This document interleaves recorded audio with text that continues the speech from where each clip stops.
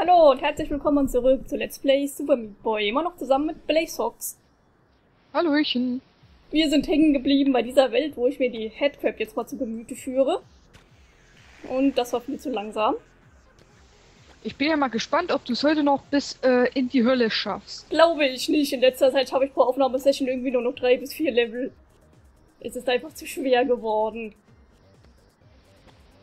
So. Ja, die sind ja auch zu Recht schwer geworden, sage ich mal. Und es wird immer lustiger. Shit, nicht wahr. Das war nicht hoch genug. Aber so klappt ja. das. So kann das klappen. Mhm. Das spüre ich einfach. Ich hätte ja gesagt, ich kann dir ja nach der Aufnahmesession nochmal, äh, ne, wenn du mal kurz durch die Welten dann rushst, sagen, wo du vielleicht noch aufpassen solltest, wo es noch ein paar Tricks gibt, wenn du dann soweit bist. Das heißt, wenn du es bis dahin auch merkst. Wahrscheinlich eher nicht. Aber vielleicht geht's ja dann so, aha, da war ja was, vergiss Ach, den Schlüssel nicht. Ja, ich wollte, ich muss den Segen ausweichen und hab versucht, den Ort zu erreichen, den du gesehen hast, hab ich versagt. Hm. Ich empfehle dir als allererstes den Schlüssel zu holen und dann das Pflaster. Okay. So. Ey, ich wollte doch jetzt springen. Ich bin einen Zentimeter zu weit gelaufen. Ein Pixel. Weil, wenn du den Schlüssel hast, da kommst du auch fast ohne die Hilfe des, ähm, hier Dingens da Vorteils wieder zu Bandage Girl. Sehr auch gut. wenn die Headcrab einen etwas mageren Sprung hat, die schafft das bis an die nächste Wand. Und da sie sich ja fest, fast festkleben kann an die Mauern, sollte das dann auch kein Problem sein, den Rest zu meistern. Das war jetzt fast zu hoch. Ja, so. aber war noch gut abgeschätzt. So, jetzt erstmal nach oben. Nein! Ich habe vergessen, mich festzukleben. Ja, das, wie gesagt, das ist immer ein bisschen schwierig. Ich habe immer das Problem, ich drücke permanent den äh, Rennknopf und dadurch klebt die sich immer fest. Also das heißt, wenn sie mal rutschen soll, tut sie es nicht. Ja, ich habe es jetzt schon rausbekommen, den nicht zu drücken, wenn es möglich ist. Ja, das Dann kommt man sehr viel, kommt man sehr viel besser zurecht. Aber wenn man hektisch wird, hat man nicht immer die Chance da dazu. Ja, das ist das Problem warten, bei diesen Spielen. Da, da, kommt er. Das war jetzt aber Schwein gehabt. Ja, ich hab gedacht, ich könnte es schaffen, aber das war jetzt wirklich super knapp. Du solltest auf den Aufzug bleiben, genau bis die Sägen wiederkommen. Nicht runterspringen. Ich weiß nicht, irgendwie hatte ich das Gefühl, sie hat sich plötzlich von selber bewegt. Ich habe nicht wirklich was gedrückt. Ich weiß nur, dass sich mein ähm, Controller durch den Experter manchmal selbstständig macht. Da schreibe ich auf einmal haufenweise Qs rein in Chat und frage mich, wieso hört das nicht auf? Na, bis ich den Controller anhebe. So, jetzt wieder die Sägen abwarten. Ach shit, das war ein bisschen zu hoch. Wieso klappt es manchmal mit dem Hochgehen und manchmal nicht? Also den letzten Sprung, den hättest du dir sparen können. Du hättest dich nur noch rankleben müssen. Ja, wahrscheinlich. Aber ich weiß ja, Zack. dass das Einschätzen dir nicht unbedingt leicht fällt. Ja, ich weiß. Das Einschätzen ist einer der größten Probleme bei mir. Weißt du was? Vielleicht solltest du dir doch besser schon mal das Pflaster holen, sobald du jetzt die Sägen wieder durchgelassen hast. Jetzt? Sägen holen und dann versuchen Ah nein, ich war nicht an der Wand. Ja, fast. Und dann auf den Aufzug springen. So. Also erst Pflaster holen und dann den Aufzug versuchen abzupassen. Eigentlich ist er breit genug, du solltest ihn erwischen. Gucken und die Headcrab ist eigentlich in der Luft nicht so schwer zu steuern oder zu hibbelig. So. Jetzt gleich meinst du, oder erst wenn sie wieder zurückkommen? Erst wenn die zurückkommen, wenn sie oder? zurückkommen. Ja, du musst ja eh warten, ehe der ähm, Aufzug da ist. So, und jetzt rüber, ja! Und den Aufzug abpassen und draufbleiben, bis die Sägen vorbei sind und dabei den Schlüssel abholen. Mist. Ich hab gedacht, ich schaff's. Da musst du jetzt nochmal die Sägen abwarten. Pass auf, du wirst runtergeschoben. So. Jetzt musst du wieder auf den äh, Dingens dort warten. Ich weiß. Ich hab gedacht, ich kann den Schlüssel sammeln, wenn ich auf dem Aufzug bleibe. Nein, ich bin nee, doch jetzt, ich wollte doch jetzt springen. Manchmal funktionieren solche Dinge, aber nicht immer. Ja. Okay, aber wir wissen jetzt, wie es geht. Das heißt, wir kriegen das hin. Und jetzt fallen lassen. Hier rüber. Und zack. Ich glaube, der Schlüssel, die Stelle ist auch zu hoch, als dass du dort stehen bleiben könntest. Oder war das eine Höhe? Wenn es eine Höhe ist, dann wartest du einfach äh, ab, bis das Teil wiederkommt, dort wo du den Schlüssel geholt hast. Nee, ich glaube, das war nicht eine Höhe, sonst hätte es gepasst. Ich habe nämlich eindeutig ganz in der Kante der Plattform gestanden. Und ja, eben bin ich wieder so hochgesprungen. Ja, wir sind ja gewohnt, von mir pausenlose Fails zu sehen. Jetzt geht's wieder weiter bei mir. Aber es liegt ja an meiner Internetverbindung, bekanntlicherweise. Dass ich ab und an mal ein paar Standbilder habe. So. Ja, guck mal, die haben eine Höhe. Das heißt, du kannst dort bei den Schlüssel stehen bleiben, solltest du ihn nicht mit einmal einsammeln können. Ja, Ohne toll, wenn ich das mache, dann sterbe ich. Nee, ich mache das lieber jetzt auf die Art, wie ich es von Anfang an vorhatte. Erst einen Schlüssel und dann das Pflaster? Nee. Ich hol mir den Schlüssel dann, aber ähm, ich warte dann einfach, bis die Plattform zurückkommt. Genau. So hätte ich das jetzt auch nochmal vorgeschlagen. Da kriegt man zwar keine A+, aber das habe ich ja nicht vor. Meine Güte, ja, ich darf jetzt ständig, ständig mache ich dieselben Fehler. Also, wenn du dir eh das Pflaster holen willst, da ist es so doch so aus mit A+. Meistens. Ja, meistens. Aber, Shit, das war nicht hoch genug. du kannst dich schon mal auf nach dem Ende freuen. Da gibt's nämlich eine ganz tolle Welt. Die ist schon schwierig genug in der Lichtwelt und die dann nur noch auf Rang A Plus zu bringen, ist ein Akt. Ich selber hab's auch noch nicht ganz geschafft. Ich sterbe zu oft. Mal gucken, ob ich das ähm, dann jemals hinbekommen werde. Also wie gesagt, an sich sind die Welten ziemlich einfach, nur du kriegst unschöne Hindernisse in den Weg gelegt. Wenn du die Hindernisse schaffst zu umgehen, sind die Welten an sich wirklich nicht schwierig. So. Aber ich glaube, davon hatte ich dir schon mal äh, in Skype erzählt gehabt. Ja, hattest Von diesem Hindernisparcours. Ich erinnere mich. Nein, verdammt! Oh, ich, da ich darf nicht zu Was tust nah. du denn nur immer? Gar nichts, ich stehe einfach nur. So. Immer mit der Ruhe. Ganz vorsichtig. Oh nein, das habe ich ja vergessen, dass das passiert. Ja, ich habe mich jetzt auch schon gewundert. Also irgendwas lief ja jetzt gerade anders. Du bist so schnell unterwegs. Ja, das war zu fix. So, da oben festkleben. Eine Weile warten. Und zack, jetzt wieder hier lang. Wir müssen ja, Aber ich denke, gelernt, jetzt das ich denke trotzdem, die Krappe, die macht ja schon einiges einfacher. Ja, glaube ich also auch. Mit Beeper muss man ja die ganze Zeit springen. Ja. Shit. Ah nein, das hätte ich mich beinahe gerettet.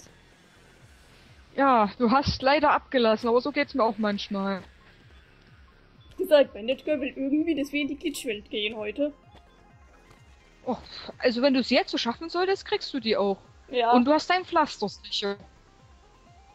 Die Welt dauert schon entschieden zu lange. Und wieder nach oben.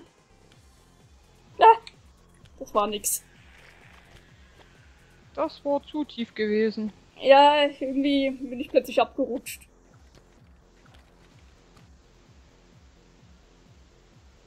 So, jetzt muss ich gleich wieder einen kleinen Sprung machen. Eigentlich wollte ich jetzt einen Sprung machen. Da schon wieder! Das war ein bisschen zu spät. Ja, du bist schon so oft gestorben, die denkt, ach, ich bleib jetzt permanent so. Ja.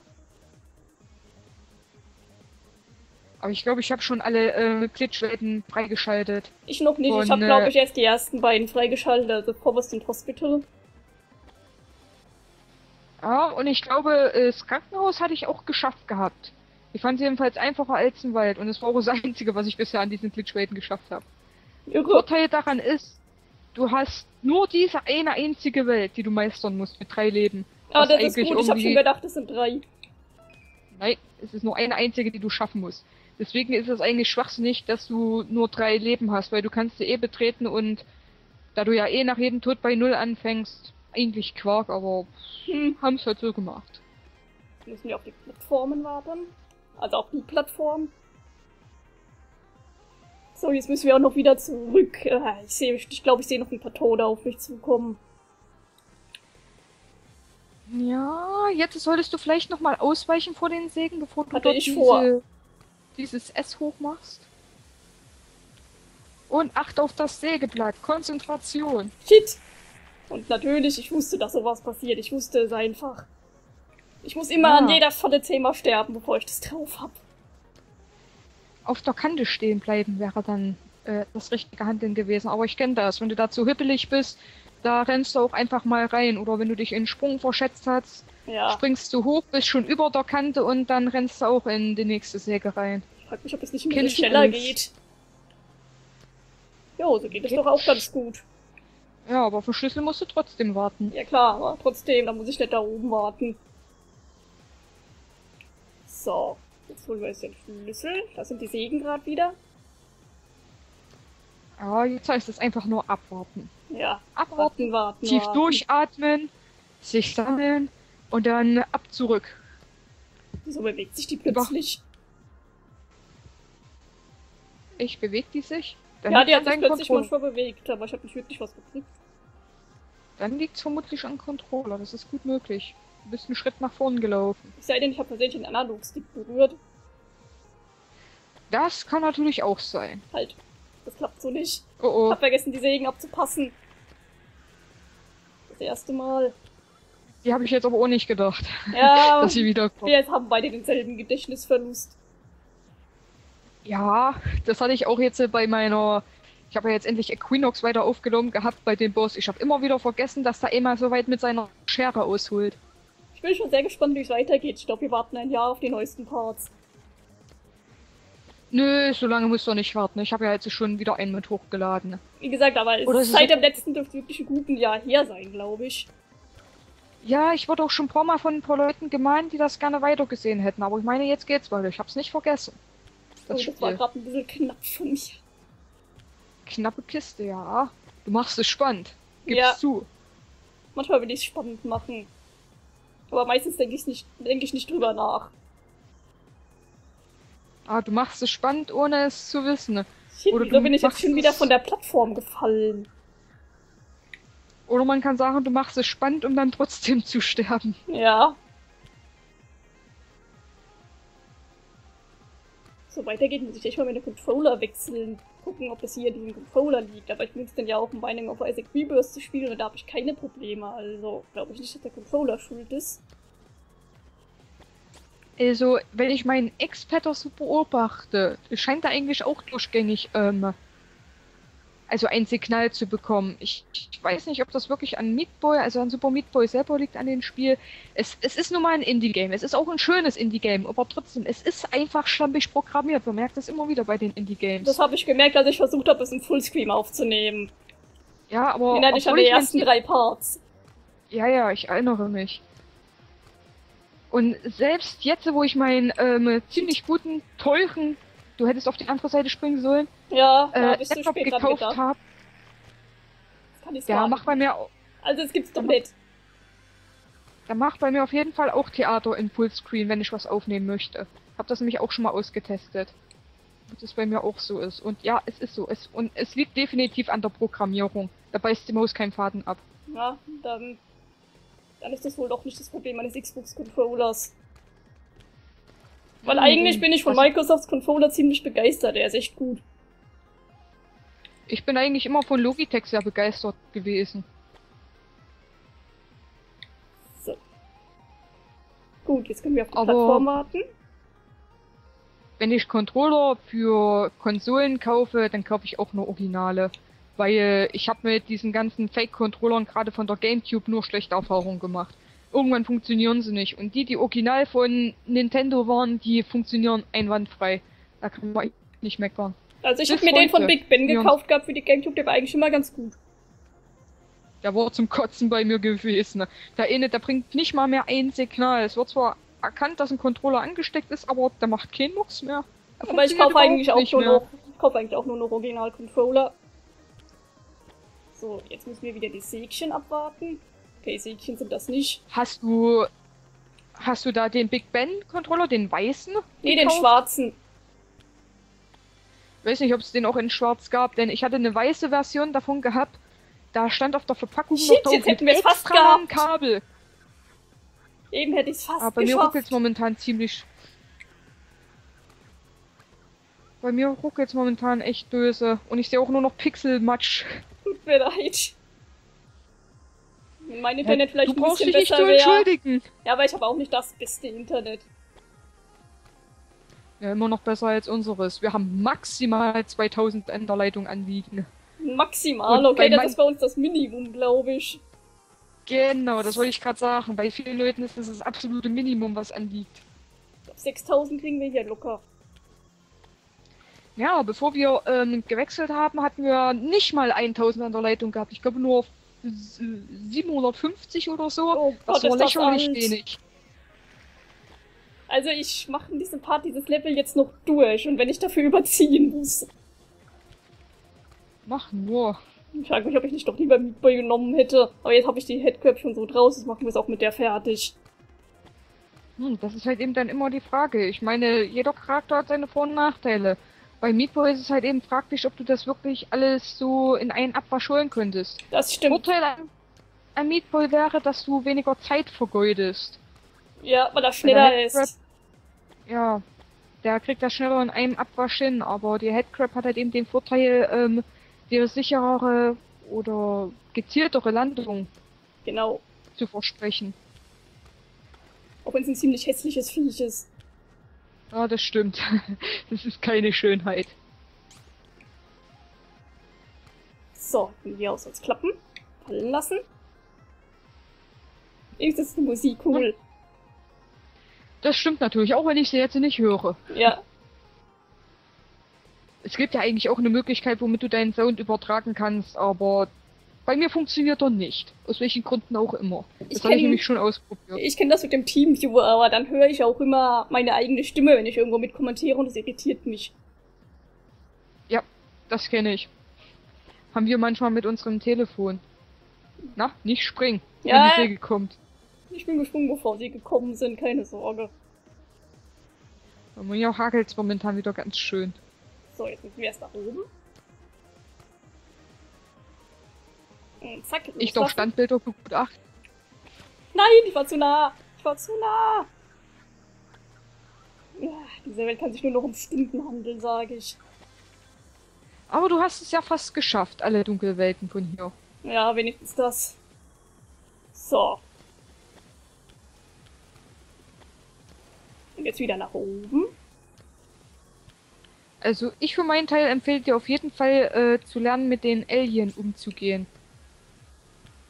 Kann ich mal machen. Aber das mache ich dann offscreen und nicht onscreen.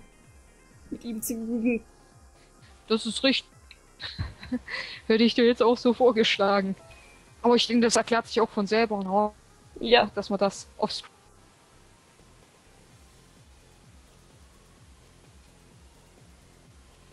so, jetzt muss ich mal bemerken, dein Mikrofon, das du gerade benutzt, rauscht ganz schön. Ja, ich weiß auch nicht, wie das kommt. Dass das immer ganz schön rauscht. Das ist so ein Problem, was ich jetzt so bei meinen Equinox-Aufnahmen hatte. Ich habe das ja wieder über meinen Laptop gespielt und ich durfte, habe mein Stehmikro für den Tisch direkt da daneben gestellt. Und der macht die ganze Zeit Krach. Äh, Jetzt na toll. Bearbeiten, um das Rauschen zu entfernen. So. Oh. Schön warten. Warte am besten, bis es nochmal vorbei ist, die Säge. Ja.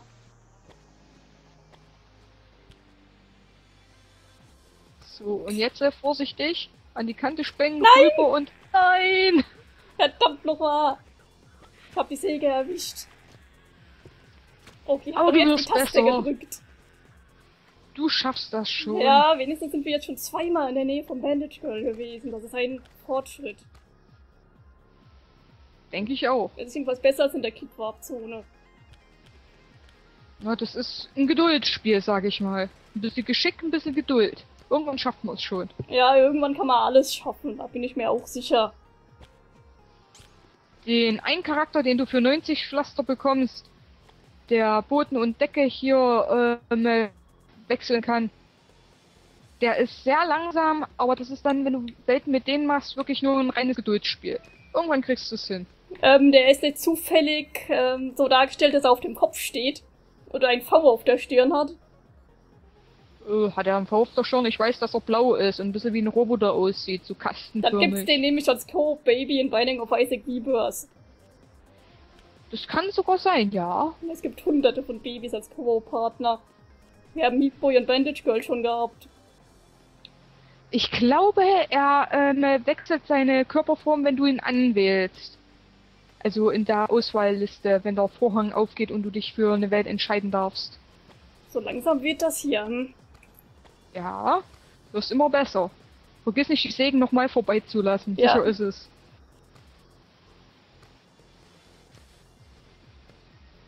So. Oh nein, verdammt. Ja, war zu schwach, der Sprung. Ja, ich hätte von weiter oben springen müssen, glaube ich, aber ich hatte Angst, in die Säge zu geraten. Nee, eigentlich ist der Sprung weit genug für die ähm, Headcrab entfernt. So. Das sind dann so Sachen, die. Ja, die muss man halt eben so ein bisschen voraussetzen, dass man das einschätzen kann. Um dann den Abschluss noch zu schaffen. So. Na komm. Naja, nix ist schlimmer, als ein Octodate steuern zu müssen. Ich habe das Spiel noch nicht gespielt, soll aber sehr witzig sein. Ich habe ja auch euer Let's Play äh, angesehen gehabt, was du ja nur leider schon zum dritten Mal oder so hochgeladen hast. Nee, zum zweiten Mal. Und da sind jetzt auch zweiten neue, Mal, da sind auch neue Parts dabei gewesen, falls du es noch nicht bemerkt hast. Nö, habe ich glaube ich noch nicht bemerkt. Aber ich komme momentan nicht allzu oft da dazu. Momentan habe ich mir wieder die, äh, sag ich mal, größeren Let's Player angesehen, so ein paar äh, Let's Plays. Ehrlich gesagt, das kann ich verstehen, wenn Zum man sich Beispiel- lieber ähm, Super, Super Metroid von Luxite Link ansieht. Das tut mir auch ganz in den Fingern jucken, aber ich habe so viel anderes zum Anschauen. Ja, Looks Like Link ist jemand, der ist wirklich der optimale Durchschnittsspieler. Kann Nein. man wirklich sagen. In Jump'n'Run und allem. Ist Er ist in nichts so wirklich gut, aber auch nicht unbedingt schlecht. Außer in den 3D-Zelda-Spielen. Da ist er wirklich gut. Also ich habe Majora's Mask angesehen Oh, und der er steht alle Majora's. Mask ja wie ein like Boss, muss ich jetzt mal sagen. Er hat mich dastehen lassen wie ein äh, like Boss, sagt man, wenn jemand besonders gut in etwas ist. Der hat mich dastehen lassen wie ein Idiot, als er die äh, Herausforderung gemacht hat mit den Pfeilen im First Try. Ja, da hat er auch in sein äh, Zelda Oracle of Ages den Goronentanz auf Anhieb geschafft. Alle beide Tänze. Gott, ich habe, glaube ich, Stunden dafür gebraucht. Ja, ich habe auch ziemlich lange dafür gebraucht. Und wenn ich mich an True MGs ähm, Versuch, Zelda Oracle of Ages durchzuspielen, erinnere, der hat dann das Handtuch geworfen, der hat das Let's Play abgebrochen an der Stelle mit dem Goronentanz. Der ist auch heftig. Ja. Und vor allen, allen äh, Zuschauern sind die Augen ausgefallen. Kann nicht sein. Ich habe stundenlang gebraucht. Der kriegt das auf Anhieb hin. Tja, das sind dann wieder so Spiele, wo er ein Händchen dafür hat. Und wir offenbar nicht. Also ich muss zugeben, dass ich wahrscheinlich Oracle of Ages den Tanz jetzt auch besser hinbekommen wird, weil ich jetzt selber tanzen gehe und mich inzwischen mit Takt auskenne. Ja, man muss, ja, stimmt. Man muss eigentlich nur einen richtigen Takt drücken. Das stimmt schon. Und man muss ein bisschen auswendig lernen. Was halt immer ganz übel war, wenn der siebenmal die Schritte gewechselt hat. Ja, oder wenn du dreimal in Folge erst in eine Richtung drücken musst und das im richtigen Zeitpunkt und dann auf einmal noch fünfmal hin und her wechseln musst. Ja, die restlichen Male. Der rote Corona war ja der schwierigere. Der blaue, der ist in der Zukunft gewesen, also in der Gegenwart meine ich da damit. Der war ziemlich lasch. Ach shit, ich krieg den Sprung nicht Oh. hin. Ich krieg diesen letzten Sprung einfach nicht hin. Vielleicht solltest du es mal umgekehrt probieren. Hm? Erstmal hier von dort drüben aus dort reinspringen und gucken, wie, ob du es schaffst, zu Bandage Girl zu kommen. Gute Idee. Übungsstunden quasi. So.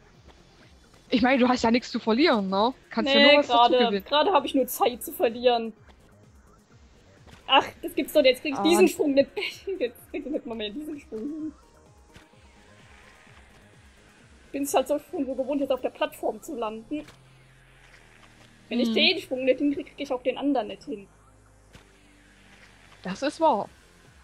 Aber mir ist aufgefallen, ich bin in dem Spiel immer in eine Sprungrichtung besser dran als in die andere Richtung. Fällt mir immer wieder auf. Hat vielleicht was damit zu tun, ob man rechts oder linkshänder ist. Weiß ich nicht, So vielleicht hat das beim nicht. Spielen selbst eine ganz persönliche Schokoladenseite, wer weiß. Ähm, das kann ich vergessen. Ich brauche diese verdammte Plattform. Das weiß ich. Ich brauche die einfach, um auf ihr zu landen.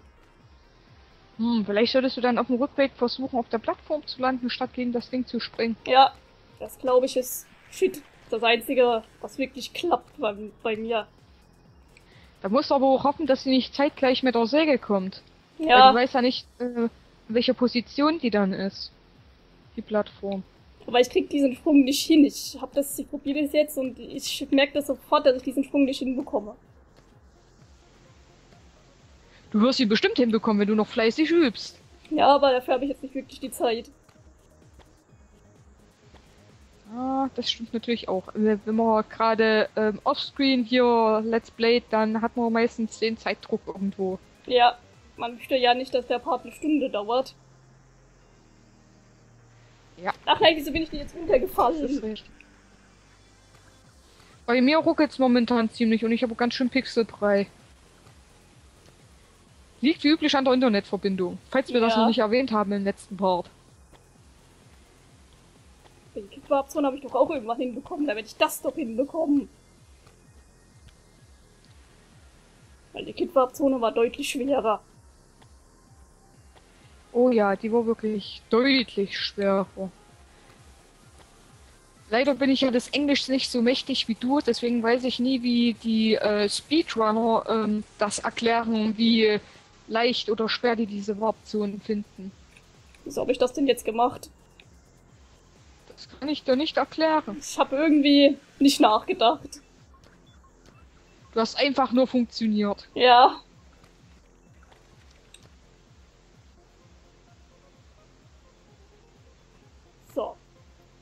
Doch jetzt mal klappen. Langsam bin ich wirklich genervt von dieser Welt. Naja, wie gesagt, mit Meatball bist du zwar schneller, musst aber auch mehr Geschick zeigen. Ne? Bei der Headcrab kannst du es ruhig langsam angehen und das wird schon mit der Zeit. Ach, irgendwie mache ich jetzt wieder nur noch Fehler. Da ja, merkt man daran, dass ich genervt bin. Du kannst ja diese Welt überspringen und dich erstmal um eine andere kümmern, da kriegst du vielleicht einen Kopf frei. Das Problem ist, dass ich jetzt schon einen ganzen Part mit dieser Welt zugebracht habe und ähm, ich habe das Gefühl, ich soll sie jetzt langsam mal schaffen. Na gut, dann versuchst du die Welt noch zu schaffen und den nächsten Part machen wir halt eben eine andere. Es sei denn, du wirst schon vorneweg das Handtuch, dann äh, kümmerst du dich erstmal hier rum. Ich werf das Handtuch mit der Headcrab. Ich probier's jetzt doch mit Meat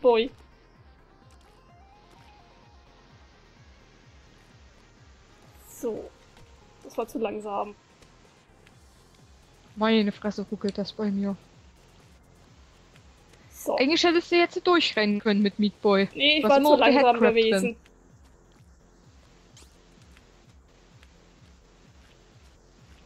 Ach shit. So hochgesprungen. Ja, mit Meat Boy neigt man noch eher dazu, zu hoch zu springen. Ja. Also was die Sprünge betrifft, finde ich Kit wirklich noch mit am besten. Da kann man es wirklich ziemlich gut einschätzen. Ja. Man kann den ersten Sprung ruhig ein bisschen lascher angehen und den zweiten Sprung dafür hm, besser ausführen. Das Problem bei Okmo ist halt eben der Salto, der ihn ähm, während des Spiels äh, so ein bisschen verwirren kann, irritieren kann. Tut er bei mir nicht wirklich. Guck, ich hab Meatboy einfach am besten drauf. Das ist wahr. Weil ich, fast immer mit dem, weil ich fast immer mit dem spiele. Nein, ist wieder gestürzt. War wohl doch eine scheiß Idee mit der Headcrab. Naja, es war eine gute Idee, mal die Charaktere auszuprobieren. Ich glaube, es war echt zu langsam, weil ich die Headcrab so drin hatte. Ja, sterben wir in den Segen. So. Zack. Also, ich an deiner Stelle würde auf jeden Fall Rupture erstmal mit den Dunkelwelten überspringen. Vor allen Dingen die, die du, wo du gleich siehst, dass du sie nicht schaffen wirst. Okay, den Rat werde ich mir zu Herzen nehmen. Bei Rupture, das, das ist echt übel, was sie da von dir verlangen. Jetzt kann ich überhaupt nicht mehr spielen. Immer mit der Ruhe.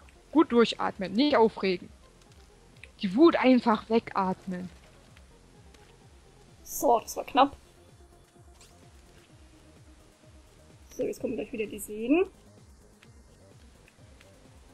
Nein, wieso bin ich denn jetzt aus dem Bild gesprungen? Das war doch jetzt wirklich nicht so hoch, also wirklich Spiel. Na gut, ein Vorteil hat's jedenfalls. Du hast mal ein bisschen gelernt und geübt, mit der Headcrab umzugehen. Ja.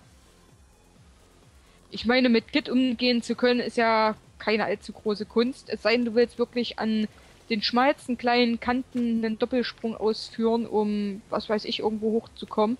Oder drunter durchzuhüpfen. Das ist dann noch so diese, sag ich mal, Meisterlektion von Kit.